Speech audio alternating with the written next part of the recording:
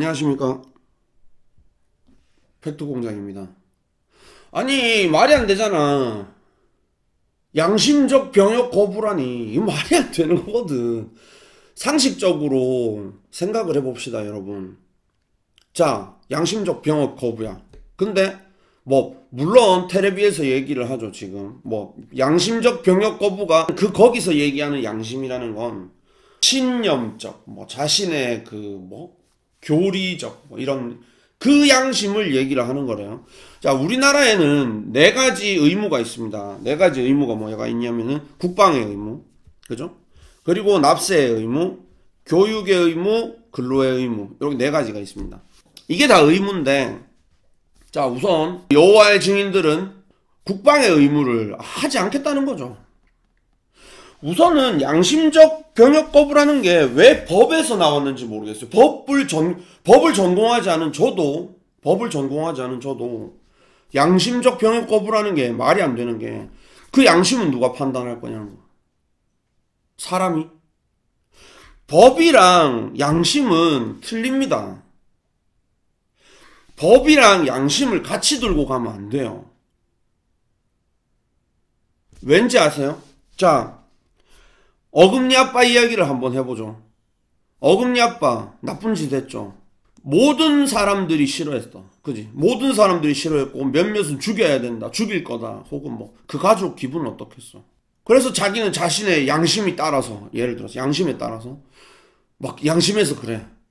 쟤를 죽여야 우리 딸의 영혼을 달랠 수 있다. 내 양심이 그렇게 울부짖었다. 그러면서 죽였어. 죽이고 나서 난 양심적 살인을 했다. 맞잖아요? 양심적으로 살인을 한 거야. 자기는. 비록 그 양심은 우리가 얘기하는 선함과 악함의 양심이 아니라 아까도 얘기했듯이 신념적 자신의 가치관과 세계관 뭐 이런 쪽으로 생각을 하자면 그래서 그 사람의 세계관과 가치관이 무너졌어. 어금니 아빠 때문에. 그 무너진 세계관을 다시 고치기 위해서 살인을 저질렀어. 그럼 양심적 살인이잖아. 그럼 봐줘야 되네. 법은 양심이랑 함께 갈 수가 없습니다. 예를 들어서 또 다른 거 얘기해 볼까요? 양심적 세금 납부 거부. 내가 쩝쩝이가 싫어.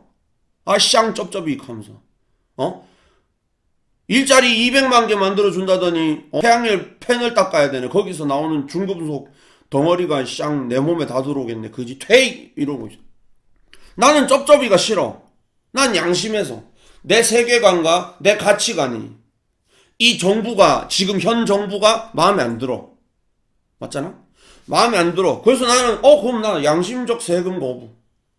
왜? 난 지금 니들을 정부라고 인정하지 않겠다. 내 세계관과 내 가치관 그리고 내 신념 그게 다 지금 쩝쩝이 쩝쩝이가 싫은 거야 나는 예를 들어서 물론 싫어 예를 들 필요도 없어 그냥 싫어 걔들이 걔들이 병신 같다고 병신 같은데 일단 싫어 싫어서 난 싫다 그랬어. 안 냈어. 안 내면 어떡할 건데? 세금 안 냈다고 잡아갈 거잖아. 대법원 가볼까? 나는 양심적으로 안 냈는데. 그렇기 때문에 법이라는 것은 양심과 결부돼서는 안 돼요. 같이 생각하면 안 됩니다. 그러니까 지금 현재 대법관들 우리 법 연구의 쓰레기 새끼들 진짜 미쳤냐 니들? 법을 똥구멍으로 배웠어. 나도 아는데. 똥구멍이 쌍, 니, 니들 입구멍에서 쌍, 어? 양심이 나와? 미친 새끼들 아니야, 진짜. 무슨 생각을 하는 거야? 김명수. 씨발놈아. 미쳤어? 법을 씨발 어디서 미친 새끼들 아니야, 이거. 아무리 생각해도. 그러면은 군대 가는 사람들은 그 가치관과 신념이 나는 가서 전쟁이 나면은 사람 죽이고 다 할 거야. 괜찮아? 그거 괜찮아서 그건 그 사람들은 그게 괜찮아서 그럼 가는 거네. 그 사람들은 그게 좋아. 사람 죽이는 게 좋아서 가는 거야? 나라를 지키기 위해서 가는 거 아니야. 어? 양심적 병력 거부자들이 제일 큰 문제가 뭔지 알아? 병역, 병역, 병역을 기피를 하죠. 그럼 거기에 대해서 우리는, 우리 일반적 시민들은 거기에 대해서 어느 정도 인정을 해줬어. 인정을 해준 게 뭐냐. 대체적 복무를 그러면 좀 더 기간을 길게 가고 어? 약간 위험성이 있는 일을 가 보내자. 남들이 하기 싫어하는 일을 보내자. 지뢰 제거 안 한대. 지들이 안 한대. 징벌적이래. 그럼 지금 군대 가서 지뢰 제거하는 새끼들은 다 벌 받는 거야? 나도 지뢰 제거병이었어. 시발. 나도 지뢰 설치하고 제거하고 다녔어. 그럼 난 벌 받은 거네? 나 그러면 국가에 소송해도 돼? 내가 잘못한 것도 없는데 벌 받았다고? 징벌적이라고? 그러니까 지금 어떻게 지금 이야기가 되어가고 있냐면은 대체 공무가 소방서나 아니면은 뭐 사람 도와주는 거 그런 거 보는데 나 이거 아니라고 보거든. 얘들을 어디로 보내냐면 막 외국에 보내야 돼. 자기 돈으로 가야 돼. 그 지가 이제 그런 데 가는 거야. 분쟁 구역에. 그 분쟁 구역에 우리나라가 관리하는 그런 사무소가 있어. 그 사무소에서 이제 그 주변에 막 지뢰가 지금 몇, 몇, 몇억 개가 깔려가 있대. 막 맨날 다리가 몇 개씩 잘려 나가, 거기는. 그죠? 몇 년, 1년에 다리가 몇 개씩 잘려 나간다고, 거기 발목 지뢰 때문에. 그거 찾아. 한국에도 있지만, 같은, 같은 곳에 숨쉬기 싫어.